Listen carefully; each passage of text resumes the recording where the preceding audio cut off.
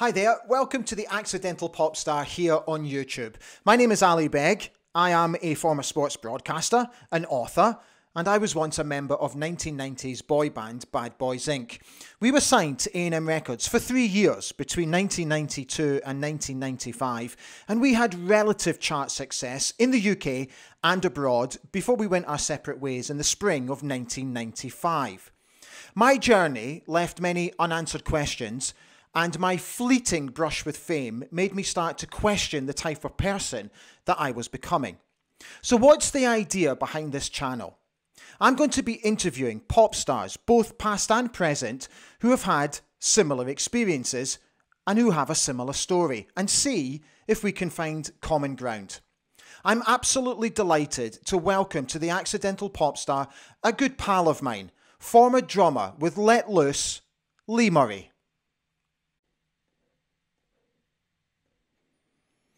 We're heading back to my old stomping ground, the mid 1990s. In 1993, Let Loose released Crazy for You, but it didn't quite make the top 40. Fast forward one year, they released it again, and this time it went all the way to number two, selling hundreds of thousands of records. Let Loose had a number of hits between 1994 and 1996 before they decided to go their own ways. I'm delighted to welcome to the accidental pop star, drummer Lee Murray.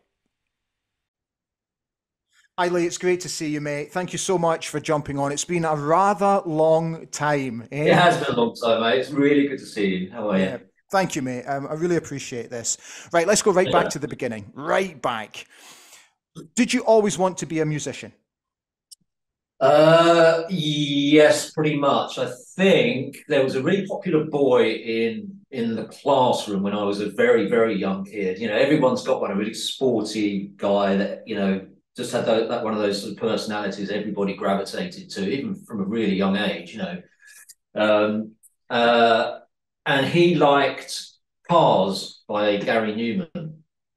This was back. I, I reckon I was about nine, eight or nine and it was my first experience of because he liked I, I sat next to this kid and because he liked it I thought well I'm going to like it too you know because he's really popular and it might make me popular and it, it didn't. But I listened to that song and um, and then I I was just hooked on music. I couldn't decide whether I wanted to sing or play the drums. I'm not really a singer to be honest. I'm a drummer that sings a bit but I just I, I really sort of latched on to this particular artist and his drummer as well whose name was Cedric Sharpley, I think. So from then on, from about nine, 10, something like that, I was just absolutely obsessed with music. So quite young, yeah. Did you drive your mum and dad mad playing the drums? Oh man, I tell you something. I know. I mean, I don't know if you can see this. This is an electronic kit, which which are fairly uh, new in the last 10, maybe 15 years, something like that, but we're going back to the 80s when and you only had the really big loud acoustic drums. Mm. I swear to God, I mean, I, I, my parents were quite liberal in, in, that I could play it whenever I wanted. And um, and I did sort of play to my shame about 11 o'clock at night sometimes. I was just obsessed. I'd play for hours and hours and hours. That's in my, I'm slightly on the spectrum, so I've become very, very uh, obsessed with things. And, uh, and music was one of them. So the amount of neighbours that would, would come, and they'd only last sometimes a year, 18 months. And I'd be going, oh, another, another one's gone, Dad. And he'd go, yeah, we'd be maybe come on. So I was just clouting these drums, you know, and they're, and they're pretty obnoxious noise, as you can imagine. So, yeah. See, when you got together with the lads, um, how did that work? Were you guys at school? Were you at college? Did you have jobs? How was that process? So I was about 17, I think, when I um, when I answered an advert in. So we were a bit I suppose, old fashioned, really, looking back uh, at how we got together, because through the sort of from the 60s onwards until sort of the late 80s, the only way to get into bands was to was to get Melody Maker, and they're the mm. classified ads in the back of this music paper. So if you were a musician, um, you tried to find sort of like-minded, uh, you know, lads and girls or whatever that were into the same sort of music. So I'd, I'd applied at 16, 17 to all sorts of different bands and I'd go and audition in these crummy old horrible sort of rehearsal rooms. Um, so uh, I think I just left college. And yeah, you know, I just auditioned for a lot of bands. There were two on the. I saw Ritchie Uh, went down to his place in. In fact, my dad took him down to his flat in Bethnal Green, and um, and I thought I immediately saw something in him. Um, I thought he's he's a potential. To, even at a young age, I thought he, he, looks like he could be a really good frontman. We like the same sort of music. We were quite sort of. Um, we like the pop of the. We like we love a pop song, so we like sort of you know Duran and uh, you know that sort of stuff in the in in the eighties and late eighties, and uh, I just recognised something in him. So, but it was between him and another band, and I really like the other band that I was auditioning for as well. And I just on a whim, I was literally going, which one, which one, which one? I thought, well, I'll go with Rich. He's nearer my age, so it's literally like that on the toss of a coin. I thought, well, I'll join Richie's band, and and and and that was yeah, I was about seventeen. So, uh, how explain how the process began about signing the record deal, sort of getting spotted? Were you scouted? How did that work? Um, Rams. Okay, so it took us years. I mean, years and years to get a record deal. We were signed twice. We were signed to Virgin. I was about 18, maybe mm. 19. Mm. Recorded an album.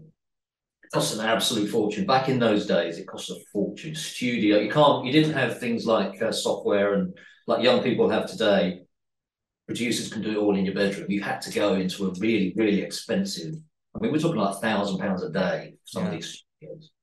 So we were put in the studio to record an album, and um, and we sorry, spent years. Sorry, Lee, who paid? Who paid for that? Yeah, the record company. So it was they Virgin. Did. Okay. Virgin, yeah, yeah. Okay. So they, I mean, we were on a pitiful sort of wage just to sort of keep us going. Um, mm. But they, yeah, they paid for it, and we spent two years recording it, and then they, the part of Virgin that we were signed to, um, finished. It was Siren Records, and they had to pow and cutting crew, I think, and they and they closed, so we were dropped. So we found ourselves on the dole after that record deal of about two years, something like that. We had to start again.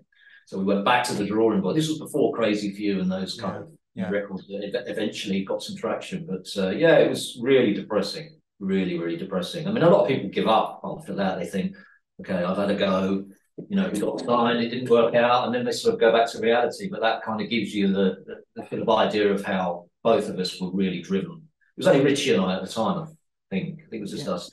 Yeah. So, how did the Mercury deal come about? So, we then spent probably another 18 months just writing and writing and writing um, in, in Richie's little flat in Bethnal Green. And um, he was a milkman, so he'd, he'd been working, you know, all hours, ridiculous hours. I was on building sites and that. Sometimes we'd go into a studio all through the night and then we'd work in the day. So we were absolutely knackered. Mm. But it was the only way, as I say, we were so sort of determined.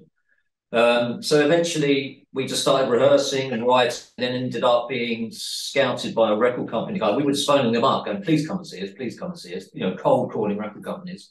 They all came down, some of them left in the middle of our set when we are playing a showcase. You could see them literally get up and walk out, which is crushing, as you can imagine.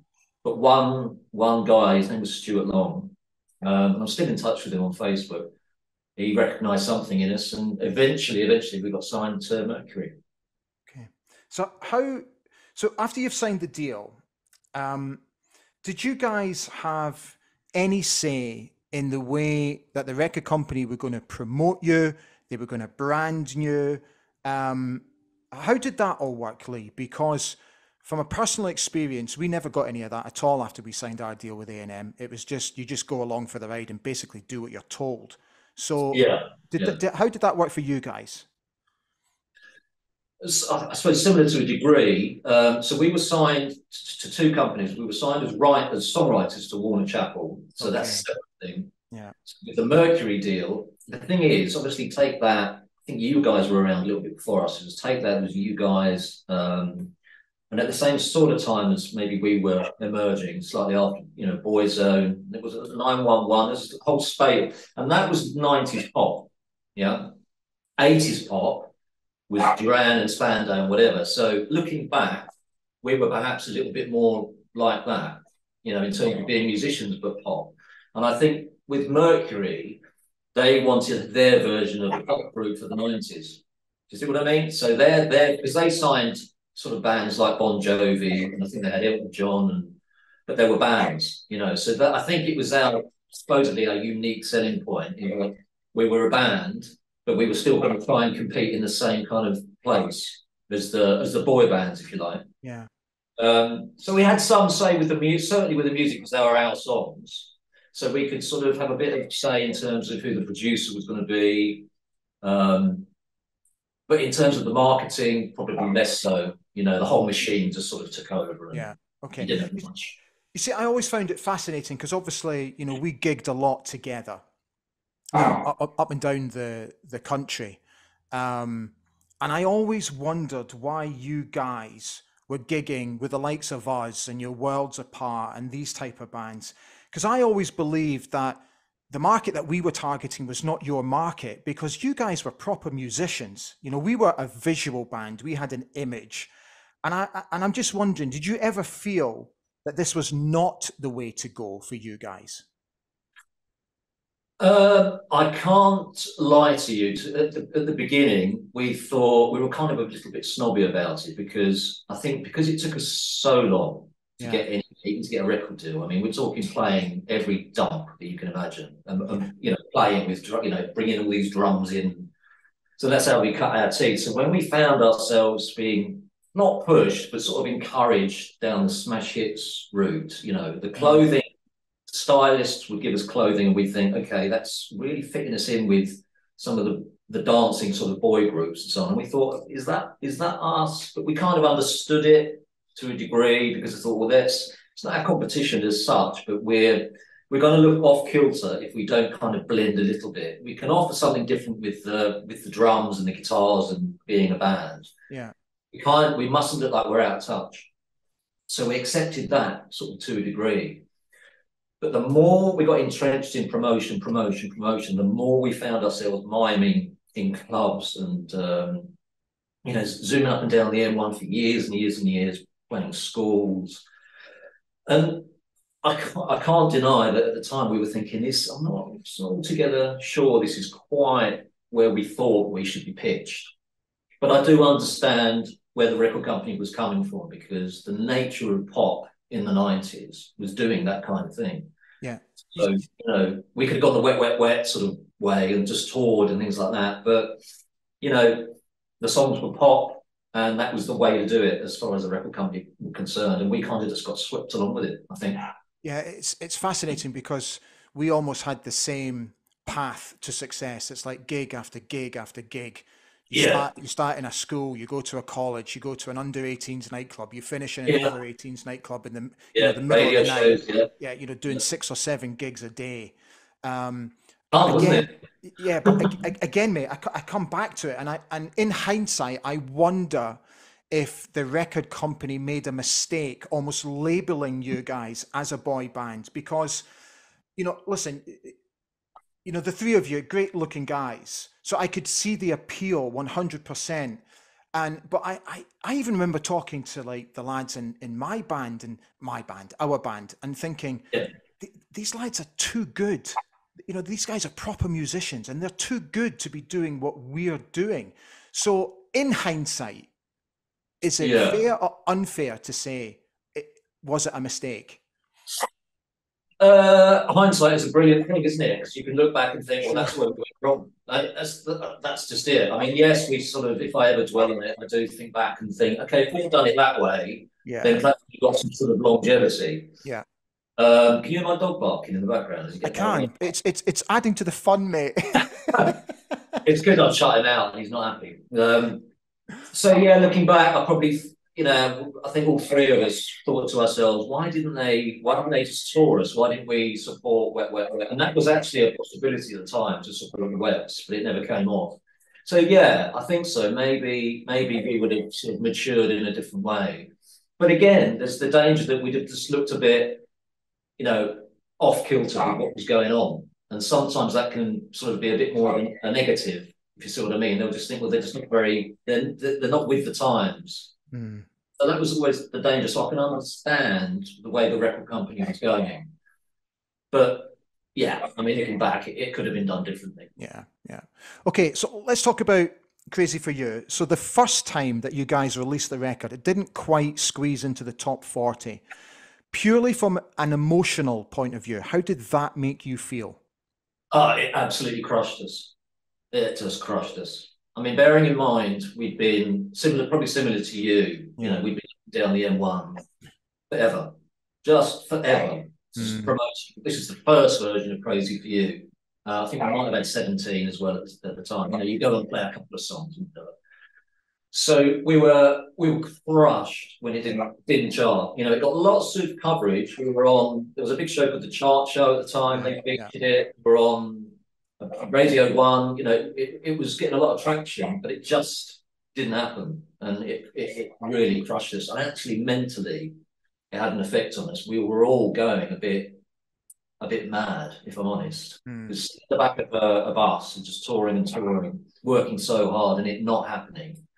And it was almost back to the drawing board. You know, we were getting a bit desperate, if I'm honest, to try and get this to work. We knew it was a good song. Maybe it wasn't the right mix, which actually turned out to be true. But yeah, it was painful, really. So when 17 and then face to face also didn't chart, yeah.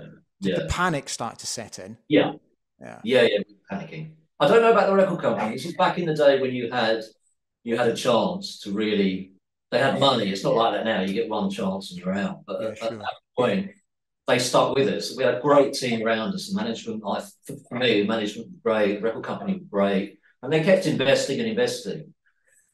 But mentally, it crushed us because yeah, seventeen. That was our next one. And again, if Nik Kershaw was involved, I know you've had a chat with him. Yeah. Um, it just didn't happen. And I remember Rich on the phone in his flat. Our manager called him and said, I'm sorry, it's gone in at 40, 40, whatever it was. And he slid down the wall, you know, crushed.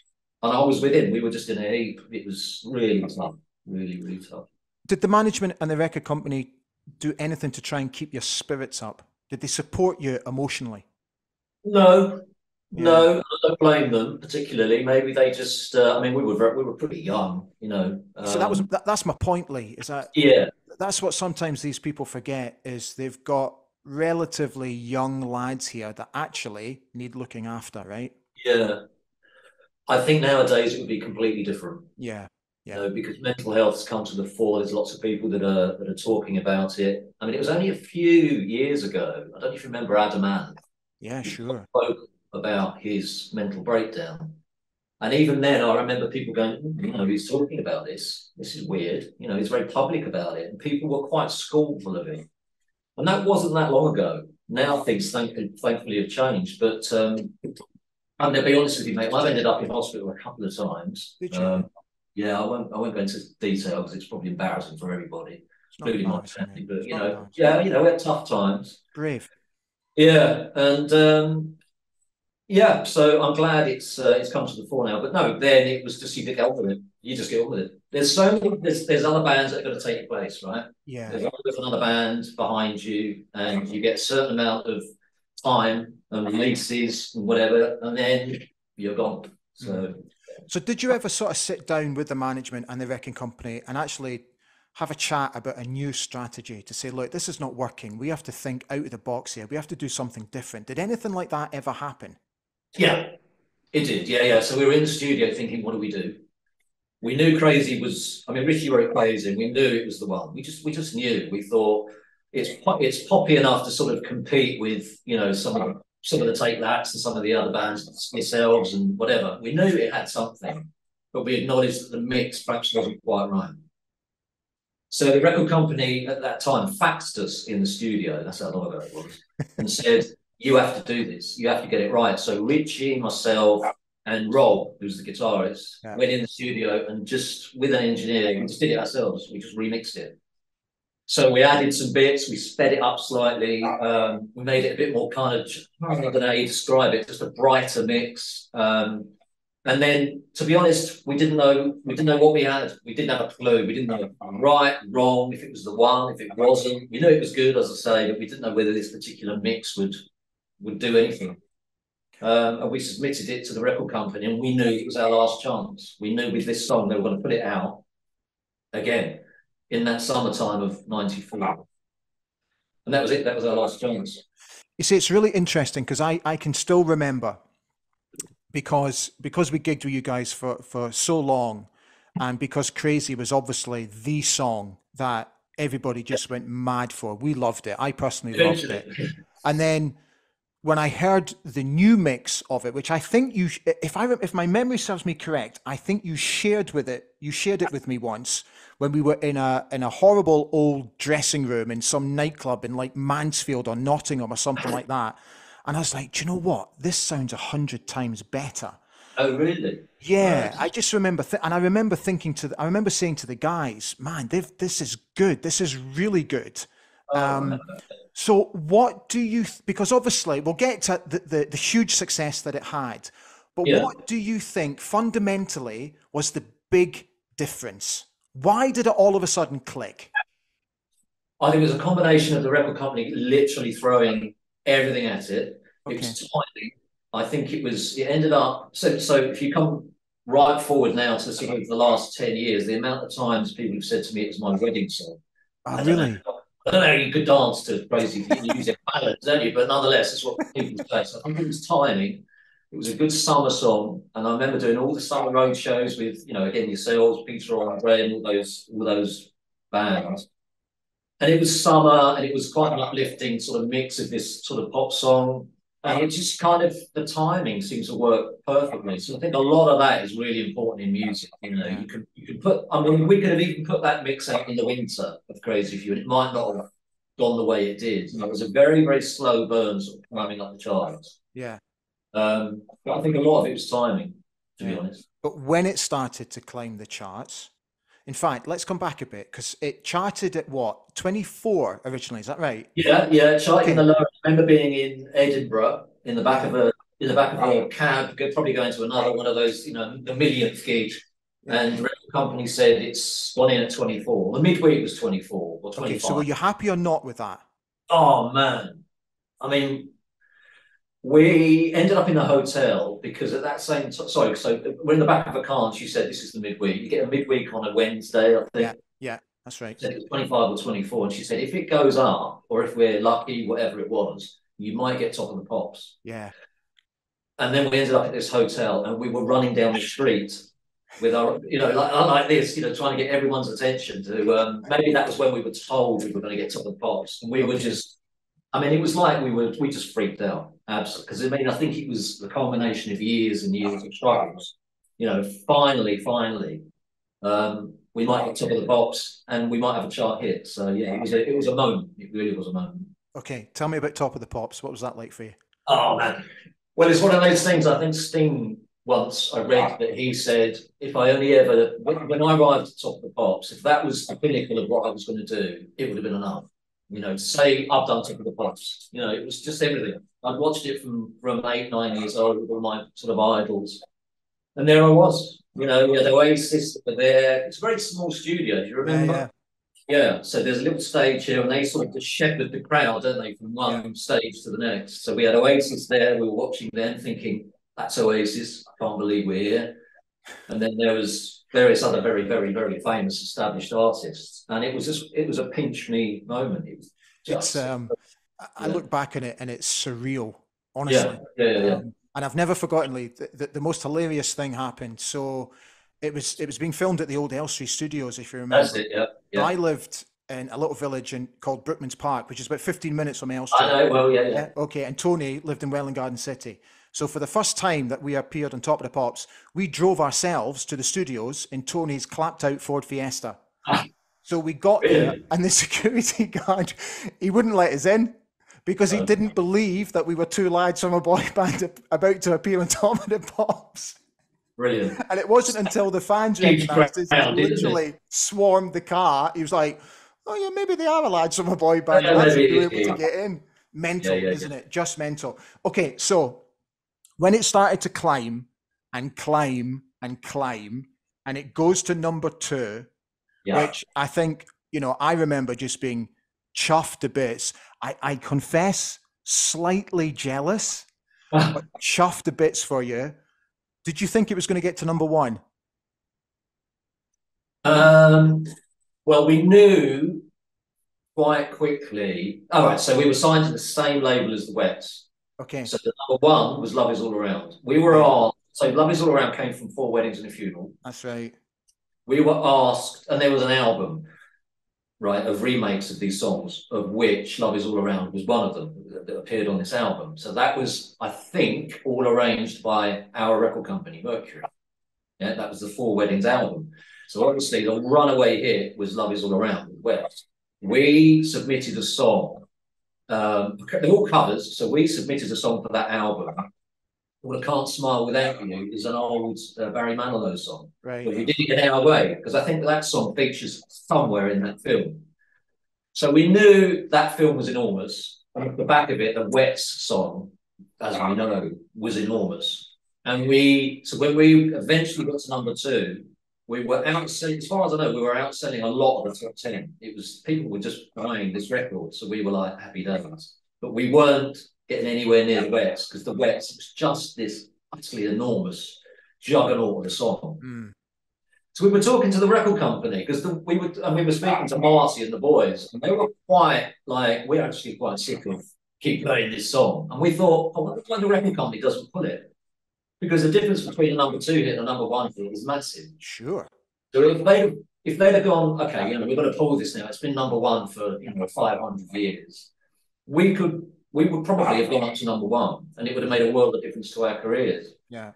I don't know how true that is. It's gone into sort of folklore and whatever. You know, things change over the years, your memory changes, but that's my lasting memory of how that kind of went on.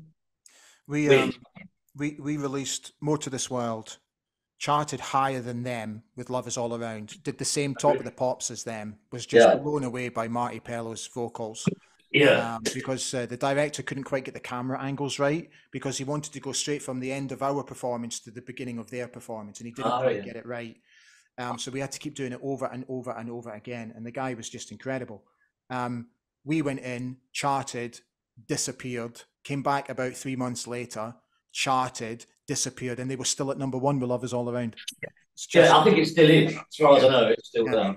Okay, so at that time, did you think you had made it? It was hard not to. You were, I think, maybe in the back of your mind. Hmm. No. Okay. As an adult now, again, it's it, you can sort of look back and you think to yourself, I probably should have known that these things can finish, you know, at the, the drop of a hat. At the time, again, you're so tired. Your your your the schedules are absolutely relentless. Hmm. So your, your feet don't touch the ground. You know, when you're if you've got a top five hit, number two hit, whatever, everything is just crazy. So you're everybody wants you, you know, because you're of, of the moment. So whatever we were doing in England, we were doing in Denmark and Germany and everywhere else we were in Europe. So I just remember being absolutely exhausted and just again being swept along with this this film you know, that was just everywhere. Everyone was getting sick of it actually, you know, I mean I I I was sick of it because I was listening to it on the radio. It's just relentless, you know. I mean, it was a real moment. It was a real moment for us. And then obviously the pressure comes to try and release the next one. Um, so there was a mad scramble to uh, get that going. You see, that's interesting because, and, and I really hope you, you get from what I'm coming from here because because the same happened to us.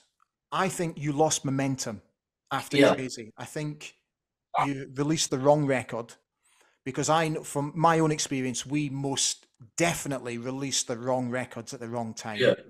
And I remember after we charted with the first hit, I thought, okay, we've squeezed into the top 20, but now we need an even better song to keep that momentum going. And they put out what I thought was one of the worst songs that I've ever heard in my life, respectfully. Then we got our top 10 hit. And I thought from there, right, this is where we, we now really need a massive song, even bigger than before. Yeah. And we need the momentum to keep going. For me, it was all about momentum. Yeah, and yeah. the next track that got put out, in my humble opinion, was lazy. It was a lazy choice. So you had um, writers writing yours, and how did that work? Did you get involved in the end with any No, of the? you see, that was the thing that frustrated me Yeah. the most because, you know, we were four lads plucked from obscurity, put into this unique position where you're completely manufactured and you're just basically told to do, you're, you're told what to do. yeah, yeah, and- yeah. you know, as much as I tried to have a say, if I did have any say, I was shot down immediately and told to behave myself and told to remember my place, So, which which I did, and I regret that. It's one of my biggest regrets because we should have stepped up. Um, because at the end of the day, it's it's my life that's on the line. Yeah, yeah, I'm the one yeah. that has to deal with all the crap that goes with it, not you. You just move on to the next artist. Um, so I always felt really disappointed and let down by that. So I'm just Yeah. wondering if you felt you lost a little bit of momentum with the next record. Yeah, absolutely. Yeah, I mean, and, and that that was borne out with the chart position. Yeah. Um, so I think really the record company, and again, I don't blame them, but I think the record company probably thought, well, they've had this this song that. I mean, my understanding is I've got a history on there. It's I can't remember how much it sold, but I think it was six. Oh, yeah, six hundred thousand. My my understanding is it went up to eight hundred. I don't know how much true true that is. So it's quite quite a you know Amazing. sizable, sizable number. So I think probably the record company thought we could, we, you know, they could fart and it'll chart, and um, and it wasn't really the case. I mean, it did chart. I think it got, I don't know where Seventeen got. I, I can't remember. Maybe ten, maybe eleven or ten or something like Yeah, I think it was 11, yeah. Yeah, and we were a bit disappointed, no doubt Mm. about it. we thought it was a reasonable pop song, and we were listening to. Uh, I think Capital made it. I don't know, record of the was it the record of the week or I don't know, maybe it was Radio One, can't remember. But um, there was a fair amount of publicity surrounding it, and, and we got good traction with videos. So you know, we were on this roll, but it it certainly, you know, it it did like a ta- like Take That at the time. Once they got going, Yeah. everything they did just kept going top five or number one, number one, number one. You see, West Side, you know. it was the same because for me, Yeah. whenever they released a song, the next one was even better. Mm. And then the one after that was even better.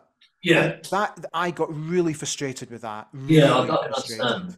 Yeah, but we were writers. We didn't really have access to other writers. I mean, we should have done because we were part of Warner Chappell, but we kind of had this thing. Well, no, let's. We have to write it. You know, we've told everyone that we're songwriters, so we have to try and write these tunes. Okay. So we tried it with the next one, which was oh maybe One Night Stand or Best in Me. Anyway, so they went up and they went down, and they went up and they went down. But yeah, we we did start to lose. You're absolutely right. We did start to lose chart momentum. You know, it wasn't the juggernaut that crazy was. It was you know Mm. kind of slightly behind the curve. How did you cope with your levels of fame, mate? we just went nuts. I mean, there's, you know, I, I know that's a bit of a flippant thing to say, but we, we, I recognised it in myself. Um, if you've got any kind of fragility, the music business will absolutely find it and magnify it. Um, and you've got to be careful what you wish for because I, you know, when we were working towards it, we would think, please, please let this happen, please let this happen. But when you, you know, I had, I had lots of people outside my house. Most of them were lovely a few of them not so nice. You know, they'd uh, they'd be very sort of critical of you, and you'd think you've driven all the way to my house to tell me that you hate hate the single. Mm. Very odd. Yeah. You know, and it surprised me the amount of people that um, can fervently, you know, shout obscenities to you. You know, when you've got any kind of level of fame, they they delight in telling you how terrible you are in all sorts of ways. So that was a downside, and um, and just the workload was, as I say, was relentless. So it was I, I noticed it in all of us. I wasn't getting on with Richie at all. We really clashed terribly.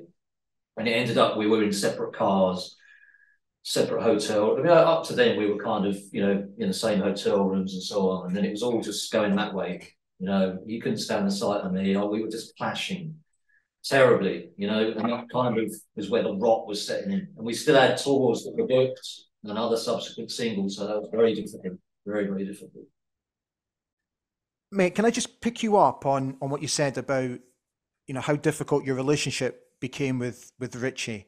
I, I don't, I don't want to go into it too deep because I I think these things sometimes like what happens in the dressing room needs to stay in the dressing room. But Yeah. but why do you think you guys started to clash? Um, I think I was struggling with the whole thing, really. Um, Richie, so Richie was the main songwriter, Mm. and, and he's, you know, he's pretty good. You know, he's he's he's pretty good at what he does. I don't think he does it anymore. I don't, I don't really know what he's up to, but um, uh, it just, I think it it got to a point where I just felt like I was a bit of a. It was probably a bit ego. There was egos involved. I felt a bit of a spare part to a degree, but I think more than that, I just the the fact that we were going sort of in that sort of coming apart at the seams, if you like. Um, it's probably down a little bit to my sort of mental health suffering.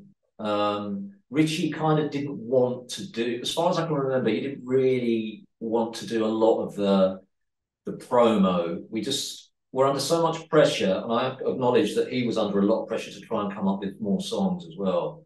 All of us, you know, we all had to try and contribute.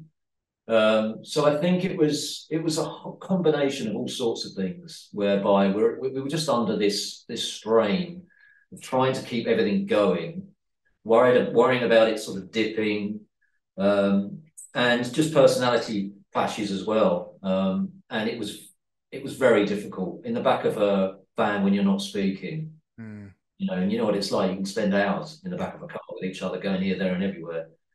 And when we were speaking, we were having these really sort of quiet, nasty rows. Um, so that was really difficult. And in the end, I just thought this is crazy. You know, it's, it's not doing anything for my work, my well-being. So I just thought, no, I've got, I've got to stop. I've just got to stop.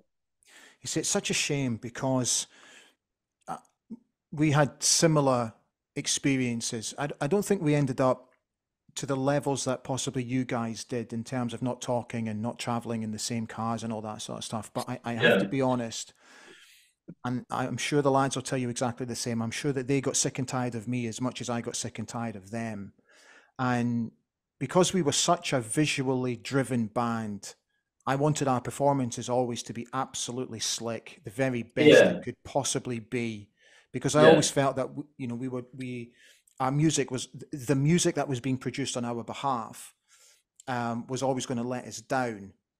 Yeah. I just didn't think it was strong enough, and I mean that with the greatest respect. And I've I've said this on former chats before. I, I mean this respectfully to the guy, um, but I just felt it was really letting us down.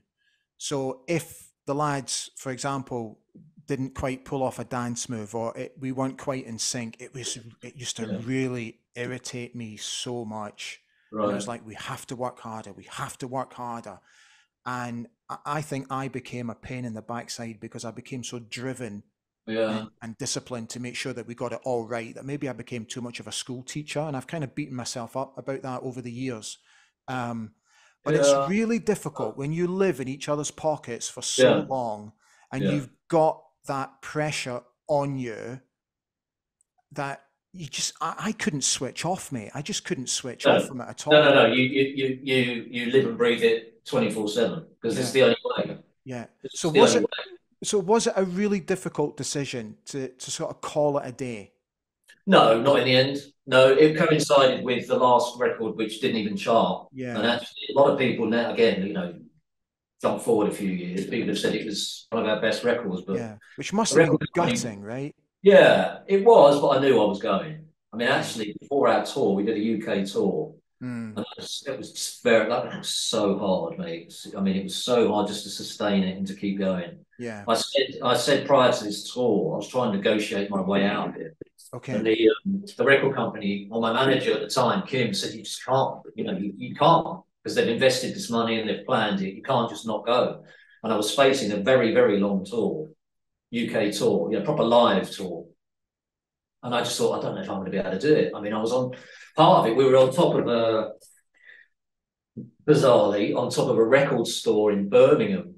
Uh, in between, so again, you do all the promotion in the day, and then you go and do part of the tour wherever, wherever date you were in. You do it in the evening. So we were gigging that night, and we were also doing promo, sign or something at H and and we did a live show on top of the roof, sort of almost Beatlesy style. I'm not comparing this to the Beatles, right? But you know what I mean. The live gig on a roof, yeah. And um, I had chronic. This is terrible. I had chronic diarrhea and sickness oh. because of the what the effect it was having on me. So I had a bucket next to me. There are pictures. I've got pictures somewhere of, of me looking absolutely green, running away to this song, and I've got a bucket next to me, and I've just come out of the hotel room, having been, you know, chronically ill. Um, so, in answer to your question, I knew it was time. I knew I couldn't go on like that, mm. you know. Um, but I had to get through the tour, and that was tough. That was really, really tough. So how we were? You... Sorry, so yeah, yeah. So, I mean, he was. We were sort of ended up. It was there were digs going on through the mics, you know, and it was awful. It was just awful. And so I take my part of you know responsibility for it. I mean, there were times it was probably quite childish. Um, and I don't want to use this platform to dig Richie out, you know, which is why I just say we just clashed, you know, yeah. we just clashed. Yeah. No, uh, we had similar experiences, mate. Uh, yeah. Well, I get where you're coming from because you have to be on your game all the time because it's yeah. so competitive. Yeah, exactly. And we there was so much pressure under us to continually have hits, and we knew. Do you know what I tell you? When I knew we were doomed, when we did the Smash Hits tour with Boyzone, and yeah. I remember sitting, and I remember when the first time I saw them, I almost laughed my way out of the office and I thought, if these guys ever get bigger than us, then we're then you know we might as well pack up today. And I remember sitting back on at the back of the tour bus with Ronan Keating, and he let me listen to the album. And I remember walking off the bus, and I said to our security guy, our, our bodyguard Paul at the time, I said, "Mate, their album's unbelievable, and we're we're done. We're absolutely done." And I really? knew it. I, I just remember yeah. thinking it to myself. Yeah. Um, and the pressure of that was like, what do we do? You know, I, am not enjoying this anymore. I, am not enjoying the fame side of it. It's it's sort of become my poison now. Yeah. I, I and and that's a really good word, poison. Yeah, I, I just I, I just didn't like it, mate. I just yeah. I just didn't like it, and I hmm. felt yeah. uncomfortable with it. And you know, I always tried, you know, like you, because you know we were we were together for for for months touring. So I saw how you interacted with the, with the fans, and you guys were always very polite as we were, and you always try and be polite. But it, there comes a point where, you know, if you get a piece of paper shoved in your face and they don't mm. even say please, yeah. it's like sign this. Oh, yeah, yeah, yeah. You know, just say please. You know, um, and if you don't do it, then the perception of you is that, you're, that, that you're a dick. Yeah. You know, uh-huh. and you, and I always felt I couldn't win. So did you, ever have, did you ever have this sign? This it's not for me. It's for my sister. I think you're crap. Yeah, all the time. did you get hate mail? Yeah, I mean, thank God social media wasn't around. Yeah, thank God. Yeah. yeah, we just we got a few. We got a few. We had one that had blood on it. Oh, uh, one letter. Yeah, yeah. I remember my, my my mother and father got hate mail. I remember. Uh, a, a, tongue-in-cheek remark about uh, a video that Take That had put out um, in the early days, and I, ju- I just made a little bit of fun about it. It was a tongue-in-cheek remark, mate. The hate mail that my mum and yeah. dad received from Take That fans, it was like sackloads, um, and I don't think my mum and dad were ready for that either. No, um, brutal, isn't it? Yeah, totally. In fact, that's interesting. Um, how did your parents cope with it all? My dad loved it. Did he? Yeah, I had to stop them because if I if, so if I had a group of um, uh, girls and whatever, some boy, girls, boys outside my house, which seems to occur quite a lot, you know. Um, my dad, my actually my mum used to feel really sorry for them because some of them were there all night. Yeah, all night, and they were only young. So my mum used to um, take them out drinks and things like that, but then made the mistake of inviting some of them in Oh. Now, some of them are very, very nice. I mean, they really are. They're polite and they're respectful, and um, you know, and you're always so grateful that they're there because sure. they're buying records. You know, sure. the, the, audience is your lifeblood, right? But when your parents are inviting them in and they're, they're and they're stealing your toilet roll, or they're they come out of the loo and they're sort of wandering around, you know, in your in your parents' house, you know, and I'd say to my mum, no, no, you, you, you can't you can't do that, mum. You really you have to you understand that there's a there's a line that you mustn't cross, you know. But my dad just loved it. Yeah, he used to go out and chat with them all, and uh, yeah, it's. Um, but it's it's weird. It wore a bit thin. I mean, I was always grateful that they were there. But again, when you're when you're touring so much, and then you do get a day off, you feel compelled if there are people outside to go and say hello and take if it's cold, you know, take them drinks and things like that. But actually, you just want to sleep. You know, you just want to get sleep. I remember um, not long I, had I moved to Brookmans Park, and I got a very rare day off, and it was a it was a Monday. I've never forgotten this. It was a Monday, and I thought, you know what? I'll go up to the vets college because there was a veterinary college just uh, round the corner from the village. So I uh, I took a jog up there, and I just wanted to go football training. I just wanted to do a bit of football training, and within ten minutes, there was I don't know 50, 60 people just yeah. watching me training. Yeah and I, I, I just I couldn't believe it. I just like yeah. just please leave me alone. You know, that's the trade-off. Yeah. Now, don't get me wrong, mate. Um, you know, like you, I was extremely grateful for the support. I was extremely grateful that people bought our records. My God, you know, we wouldn't be where we were if they hadn't have bought our records. So I was extremely yeah, grateful yeah. for it. It's just yeah. trying to sort of give people a different perspective on it all. Yeah. I remember, I remember my father.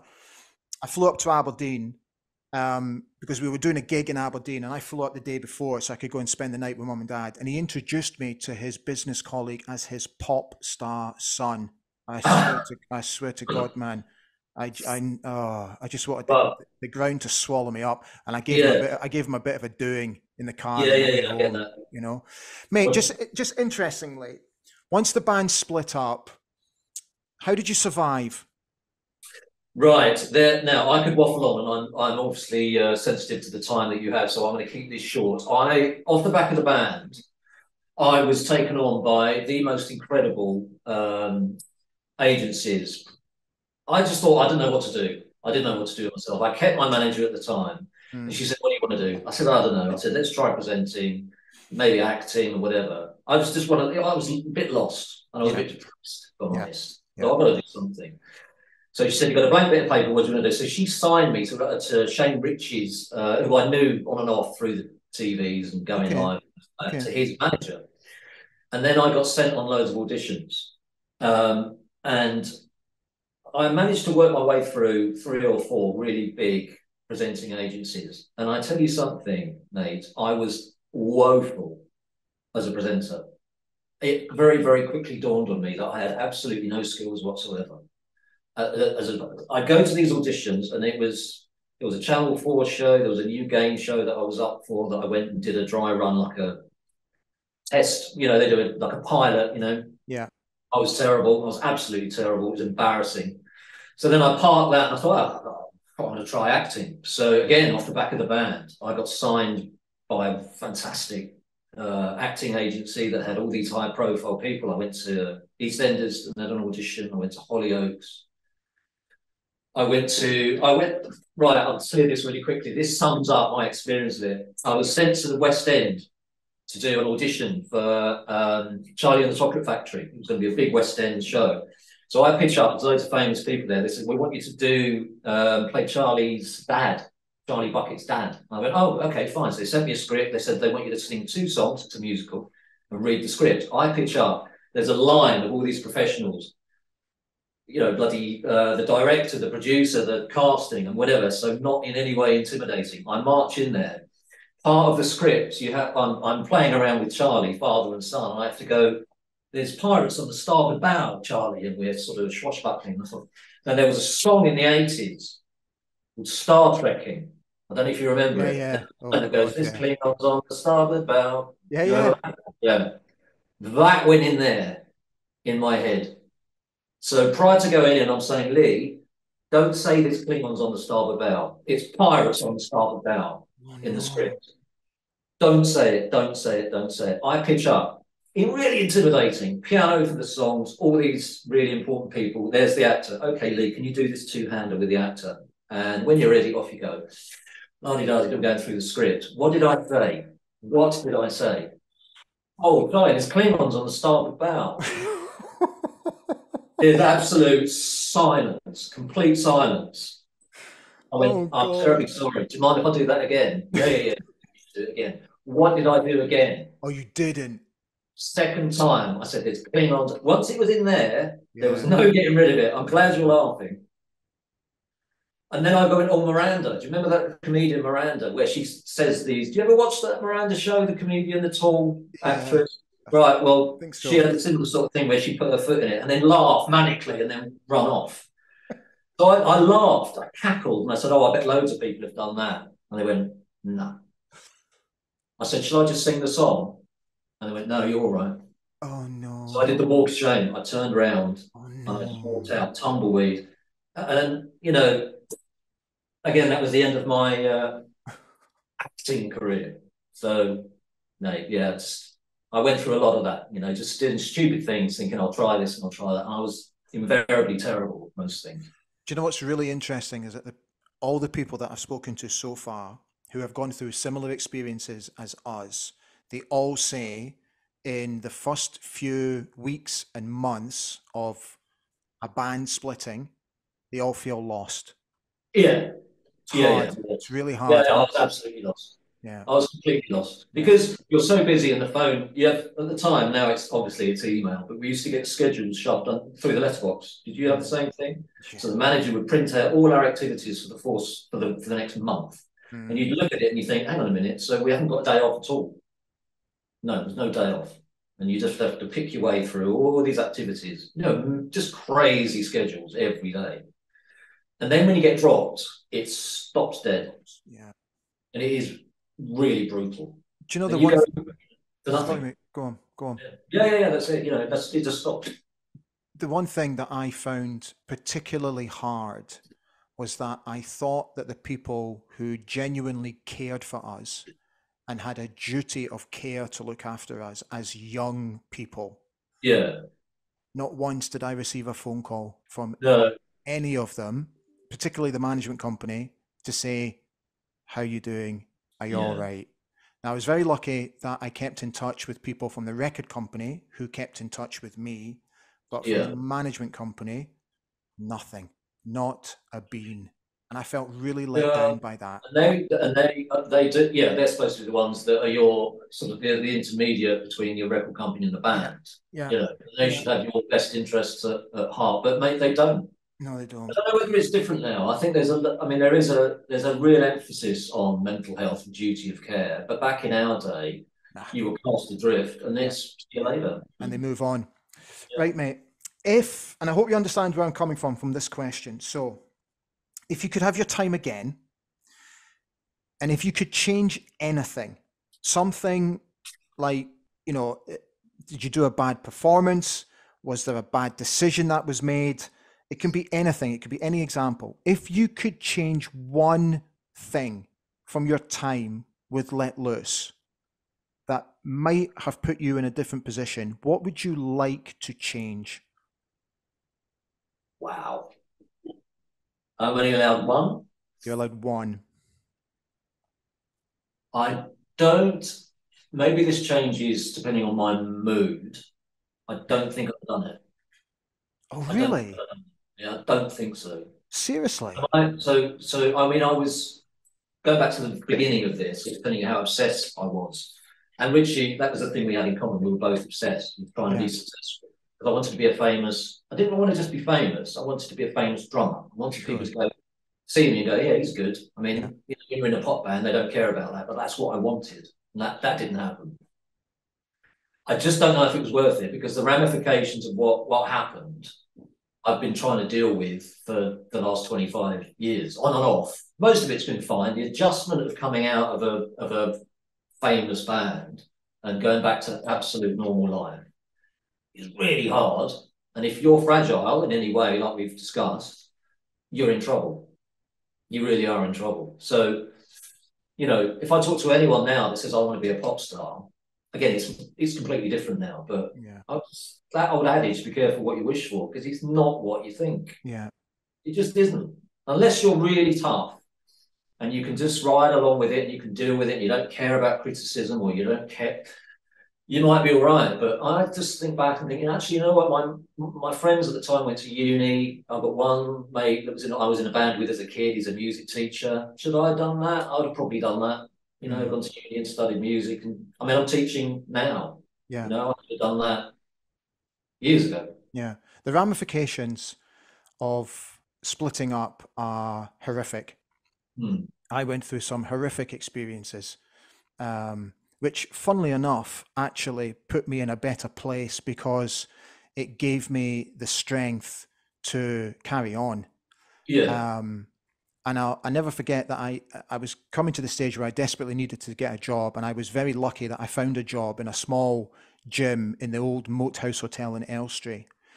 But even know step-. Yeah, yeah. uh, even stepping into there, you would occasionally get, "Oh God, look at you now! What a fall from grace!" And I, I, uh, so a friend of mine who used to be a, a radio DJ, who is still one of my closest pals, he now lives in America. He said to me, I have a phrase that I want you to use that every time someone says that to you, and he says, just say to them, Oh, I'm sorry, You must have me confused with someone who gives a fuck what you think. Uh-huh. Yeah. And I used to do that, and I once got disciplined by my boss.